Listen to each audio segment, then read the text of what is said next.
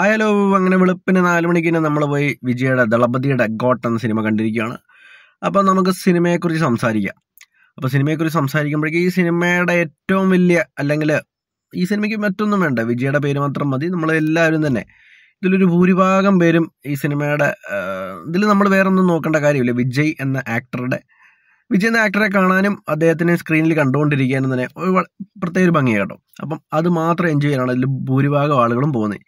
എന്നിരുന്നാൽ കൂടി നമ്മൾ ഈ സിനിമയെക്കുറിച്ച് സംസാരിക്കുമ്പോഴത്തേക്കിനും ആ വിജയ് എന്ന ആക്ടറിനെ മാറ്റി നിർത്തി കഴിഞ്ഞാൽ അദ്ദേഹത്തിനെ മാറ്റി നിർത്തുന്നില്ല എന്നിരുന്നാൽ തന്നെയും അദ്ദേഹത്തിനെ മാറ്റി നിർത്തിയാൽ ഇതിൽ നമ്മൾ എന്താണ് മറ്റൊരു പ്രധാന ഘടകമായി കാണുന്നത്? ഇതിന്റെ സംവിധായകനായ വെങ്കട് പ്രഭു അതുപോലെ തന്നെ ഇതിന് മ്യൂസിക്കൽ ചെയ്ത് യുവൻ ശങ്കർ രാജയുമാണ്.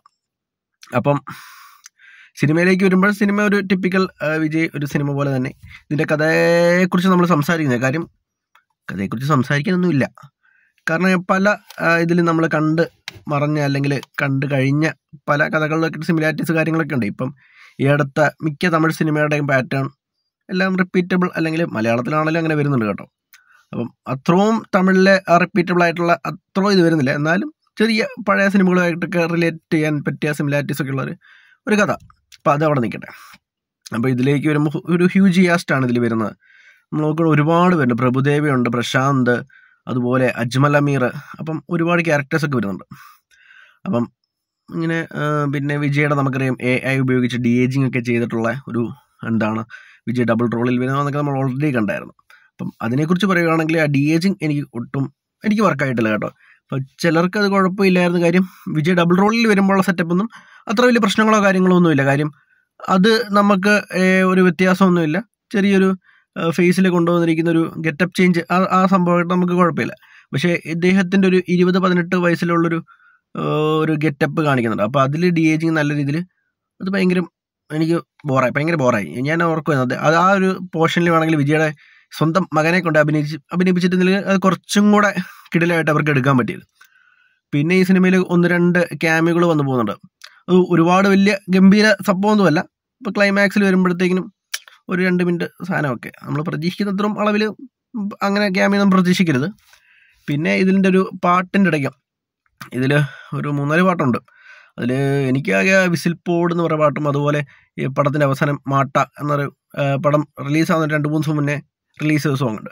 അതും അത്യാവശ്യം നല്ല രസമായിട്ട് തിയേറ്ററിൽ തന്നെ ഇത് എനിക്ക് എൻജോയ് ചെയ്യാൻ പറ്റി. അപ്പം ആ ഒരു മാട്ട സോങ്ങിലും ഒരു ക്യാമിയ വരുന്നുണ്ട്. ആ രണ്ടും പിന്നെ ഉം, ഗംഭീരം എന്ന് പറയാനായിട്ട് എന്താണ്? പിന്നെ പടത്തിൽ എനിക്ക് ഒട്ടും പ്രതീക്ഷിക്കുന്ന ഇങ്ങനത്തെ ഇൻവെസ്റ്റിഗേഷൻ സാധനമൊക്കെ ആകുമ്പോഴത്തേക്കും സ്ഥിരം ഒരു ഒറ്റുകാരനായിട്ട് അല്ലെങ്കിൽ ആ ഒരു ചീറ്റിംഗ് സ്റ്റാർ എന്നൊരു സംഭവം അജ്മൽ അമീറാണ് ചെയ്യുന്നത്. ഇതിൽ അജ്മൽ അമീർ നിഷ്കളങ്കൻ സത്യസന്ധനായ ഉദ്യോഗസ്ഥനാണ്. അപ്പം അതൊരു വ്യത്യസ്തമാണ് കേട്ടോ ഒരു വെറൈറ്റിയാണ് പിന്നെ അതുപോലെ എന്താണ് ഇതിൽ സ്നേഹയുണ്ട്. ഒരുപാട് പിന്നെ കാസ്റ്റ് ഒരുപാടുണ്ട്. Yogi Babu V T V Ganesh ഒരുപാട് ക്യാരക്ടേഴ്സ് ഉണ്ട്. അവർക്കൊക്കെ ഭയങ്കരമായിട്ട് എന്താണ് റോൾ കുറഞ്ഞ പോലെ എനിക്ക് തോന്നി. യോഗി ബാബു ഒക്കെ ശരിക്കും പറഞ്ഞാൽ യോഗി ബാബുവിന്റെ മിക്ക സിനിമകളും നമുക്ക് ഒരു ത്രൂ ഔട്ട് സിനിമയിൽ അദ്ദേഹം കാണുന്നു പക്ഷേ ഇതിലേക്ക് കുറച്ച് portion V T V Ganesh ആണെങ്കിലും ഒരു കുറച്ച് മിനിറ്റുകൾ മാത്രം വന്നു പോകുന്ന ഒരു ക്യാരക്ടർ പോലെ അവർക്കൊക്കെ വീണ്ടും വേണേൽ കൊടുക്കായിരുന്നു സ്പേസ് കൊടുക്കായിരുന്നു പടത്തിൽ പിന്നെ പടം ഓവറോൾ പറയുകയാണെങ്കിൽ നമുക്ക് ഒരു വൺ ടൈം വാച്ചബിൾ ആണ്. പക്ഷേ എന്നിലെ ഒരു വിജയ ആരാധകനെ സംബന്ധിച്ച് നോക്കുവാണെങ്കിൽ സിനിമ എനിക്ക് അദ്ദേഹത്തിന്റെ സ്ക്രീനിൽ കണ്ടുകൊണ്ടിരിക്കുന്ന ഒരു പ്രത്യേക ഭംഗി. കാരണം ഈ ഇന്ന ഇന്ന സാധനങ്ങളാണ് ഇന്ന ഇന്ന സാധനങ്ങൾ ഇദ്ദേഹം ചെയ്യും.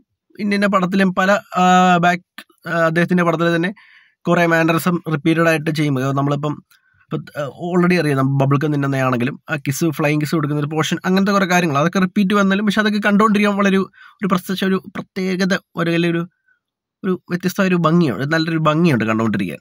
അപ്പം അതൊരു വിജയാരാധകൻ അല്ലെങ്കിൽ ഒരു കുടുംബം വിജയിക്ക് വിജയെ സംബന്ധിച്ച് അദ്ദേഹത്തിന് കുറേ ഫാമിലി ഫാൻസ് അല്ലെങ്കിൽ ഒരുപാട് പേരുണ്ട് ലേഡീസ് അങ്ങനെ ഉള്ളവർക്കൊക്കെ തീർച്ചയായിട്ടും ഗംഭീരമായിട്ട് തന്നെ ഇഷ്ടപ്പെടും വർക്കൗട്ടോ അപ്പം ഞാനിങ്ങനെ ഫാൻ ഷോ ആണ് കണ്ടത്. അപ്പോൾ ഫാൻ ഷോ കാണുമ്പോഴും നമ്മുടെ പ്രതീക്ഷ എന്ന് വെച്ചാൽ ഞാൻ തെരിയൊക്കെ ഫാൻ ഷോ കണ്ട സമയത്ത് അന്നൊക്കെ പറഞ്ഞാൽ ഫസ്റ്റ് ഷോ നമ്മൾ കാണുമ്പോൾ എനിക്കൊന്നും പല സംഭവം ഡയലോഗൊന്നും മനസ്സിലാവുന്നില്ല. കാരണം അതൊക്കെ കുറെ- പഞ്ച് ഡയലോഗും മാസും കുറേ കാര്യങ്ങളൊക്കെ ഒരുപാട് സാധനങ്ങൾ അവർ ഇൻക്ലൂഡ് ചെയ്തിട്ടുണ്ടായിരുന്നു.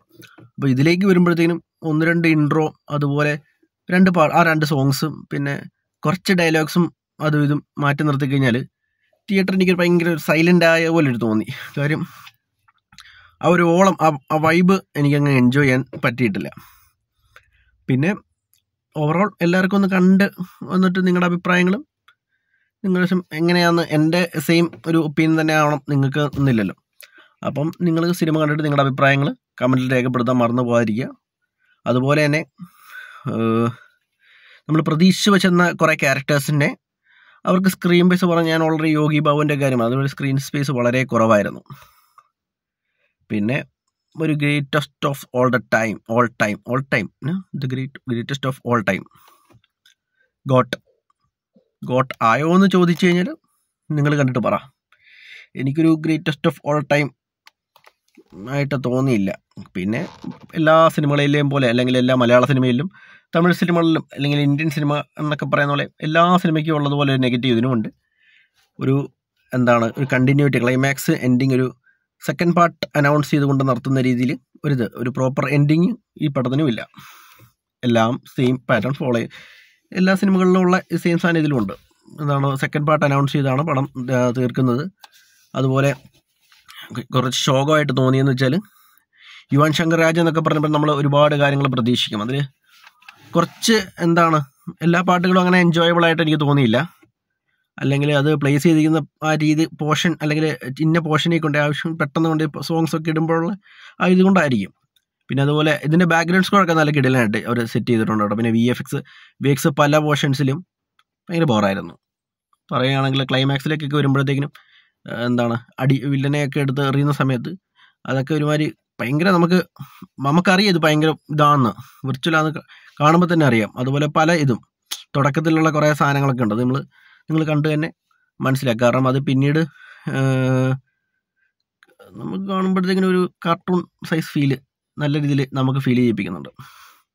അപ്പോൾ ഓവറോൾ നോക്കുവാണെങ്കിൽ പടം ഒരു വൺ ടൈം വാച്ചബിൾ തന്നെയാണ്. ഞാൻ ഓൾറെഡി പറഞ്ഞു. പിന്നെ എന്നിലെ ദളപതി പ്രേക്ഷകനെയും എന്നിലെ നമ്മൾ സിനിമ ഞാൻ സ്ഥിരം സിനിമ കാണുന്ന ഒരു വ്യക്തി എന്ന സ്ഥിതിക്ക് രണ്ട് രണ്ട് രീതിയിൽ നോക്കുവാണെങ്കിൽ ദളപതിയുടെ ഒരു ഫാൻ ആ രീതിയിൽ നോക്കുവാണെങ്കിൽ ഞാൻ സംതൃപ്തനാണ്. പക്ഷേ നമ്മൾ ഇത്രയും പൈസ മുടക്കി പോയി സിനിമ കാണുമ്പോഴത്തേക്കിനും ഇത്രയും ഹൈപ്പില്ലേ നന്നായി കേട്ടോ.